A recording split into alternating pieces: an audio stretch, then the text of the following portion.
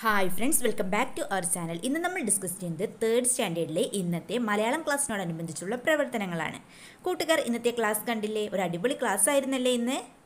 ഒരു പ്രത്യേക ക്ലാസ് ആയിരുന്നല്ലേ? ശങ്കരന്റെ വ്ലോഗോട് കൂടിയ ഒരു അടിപൊളി ക്ലാസ് തന്നെയായിരുന്നു.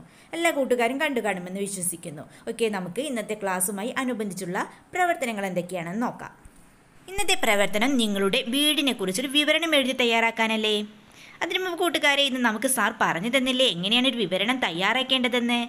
നമ്മൾ സാധാരണ സംസാരിക്കുന്ന പോലെയാണ് ഒരു വിവരണം എഴുതേണ്ടത്. അല്ല അതിൽ നിന്നും വ്യത്യസ്തമാണല്ലേ? ഇന്ന് ശങ്കരൻ ചെയ്ത വ്ലോഗ് എന്തായിരുന്നു? കയറ്റിലേക്കുള്ളൊരു യാത്രയായിരുന്നല്ലേ? അത് എങ്ങനെയാണ് ഒരു വിവരണമായി എഴുതേണ്ടതെന്ന് സാർ നമുക്ക് പറഞ്ഞു തന്നില്ലേ? നമുക്ക് ആദ്യം അതൊന്ന് നോക്കിയാലോ. എന്താണ് ആദ്യം എന്താണ് വേണ്ടത്? ഒരു ടൈറ്റിൽ വേണമല്ലേ? എന്താണ് ഇവിടെ കൊടുത്തിട്ടുള്ളത്? കയറ്റിലേക്ക് ഒരു യാത്ര. തിരുവനന്തപുരം ജില്ലയിലെ പൂജപുര എന്ന സ്ഥലത്താണ് കൈറ്റ് വിക്ടർ സ്ഥിതി ചെയ്യുന്നത്. ആദ്യം തന്നെ കാണുന്നത് വലിയ കവാടമാണ്. കവാടം കടന്നു ചെന്നാൽ ഇടതുവശത്തായി കാവൽക്കാരന്റെ മുറിയുണ്ട്.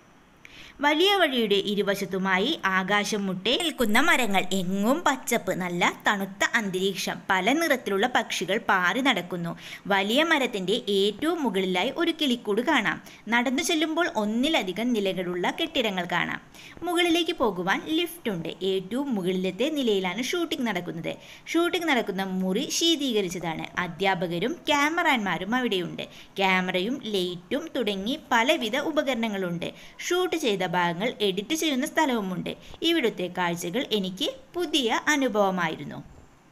ഇതിന്ന് ശങ്കരൻ നടത്തിയ വ്ളോഗിനെ കുറിച്ചുള്ള ഒരു വിവരണമാണ് ഇവിടെ കൊടുത്തിട്ടുള്ളത്.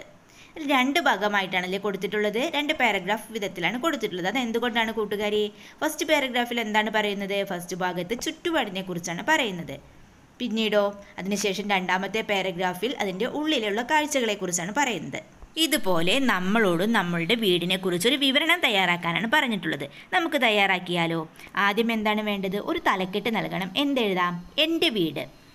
ഇന്ത്യയുടെ തെക്കേ അറ്റത്ത് കാടിന്റെ സൗന്ദര്യവും കടലിന്റെ എളിമയും പുഴയുടെ താളവും ചേർന്ന് ഈശ്വരന്റെ പ്രത്യേക കരവിരുതാൽ മെനഞ്ഞെടുത്ത പ്രത്യേക ഭംഗിയോട് കൂടിയ ദൈവത്തിന്റെ സ്വന്തം നാട് എന്നറിയപ്പെടുന്ന കേരളത്തിലെ കൂടല്ലൂർ എന്നൊരു കൊച്ചു ഗ്രാമത്തിലാണ് എന്റെ വീട്. എന്റെ വീട്ടിലേക്ക് പ്രവേശിക്കുന്ന ഭാഗത്ത് ചെറിയ ഒരു കവാടമുണ്ട്.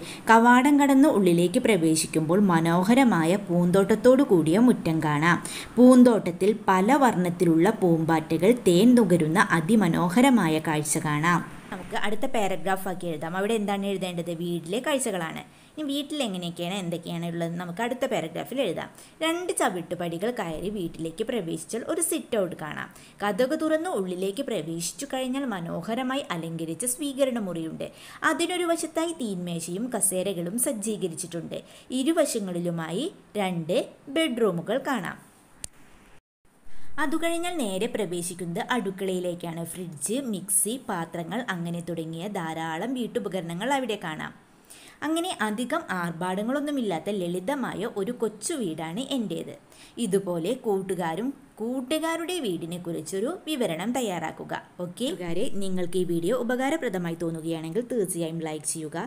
തുടർന്നും വീഡിയോകൾ കാണുന്നതിനായി നിങ്ങൾ ഇതുവരെ ഞങ്ങളുടെ ചാനൽ സബ്സ്ക്രൈബ് ചെയ്തിട്ടില്ലെങ്കിൽ സബ്സ്ക്രൈബ് ചെയ്യുക. മറ്റൊരു വീഡിയോയുമായി വീണ്ടും നമുക്ക് കാണാം. Okay bye